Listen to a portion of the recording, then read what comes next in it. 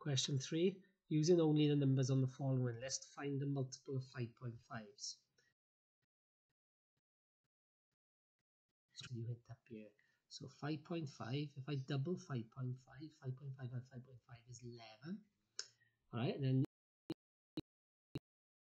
up 16.5, 22. I can go up in my 11 times table to get to this list. So the first one would be, or you could have carried adding on, so it's 16.5, then 5 add 16 is 21. So next one will be 21.5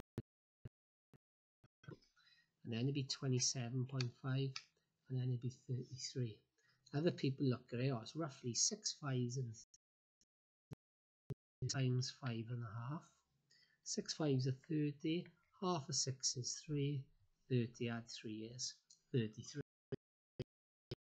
there so it's a number that goes into 111 so if you're thinking about this you're dealing with 30s and 40s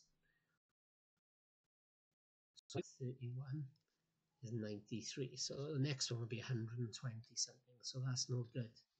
33 adds 33. Right. Add the other 33 is 99. Still no in the. That's going to end in a 5 or 0, so it can't be that. 37 add 37. 7, 7 is 14. 4 down, carry the 1. 3 add 3 is 6. Add the 1 is 57 on it now. 7 4 is a 21, 1 down carry the 2. 7 add 3 is 9, add the 2 37 is the answer. Some of you might have been able to do it thinking, oh, 30 times 3 is 91. So 7 3 is a 21. So my answer is 37.